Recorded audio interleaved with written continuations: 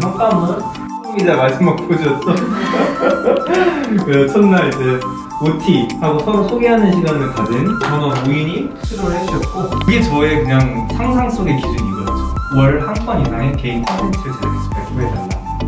어, 뭐 공간이든 프로그램이든 그대들이 원하는 걸로. 거기는 30, 10, 20이라는 걸정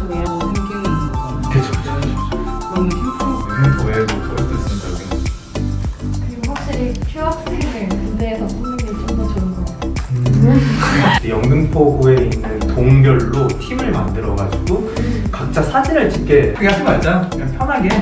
사람도 그렇게 많이 있지 않으니까. 필름 카메라만의 그 감성이 아, 제가 여기 와서 너무 좋은 사람들 너무 많이 만나서 아 활동도 뜻깊었고 아주 일석이조이지 않았나 라고 생각합니다.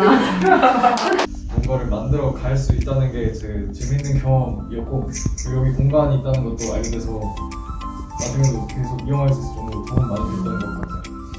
저는 약간 재미, 재미를 추구하는 삶을 살고 있는데 재밌어서 되게 만족스러워요. 아, 끝.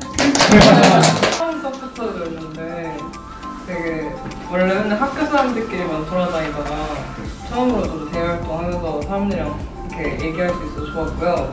원래 좀 이렇게 간단하게 원래 좀 약간 공격적인 디자인만 막 하다가 좀 이렇게 좀 소소한 기획도 좀 해보고 그러는 게 좀 좋았던 것 같아요.